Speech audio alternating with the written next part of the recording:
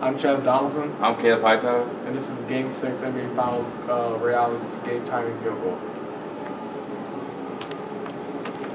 Oh, let me start.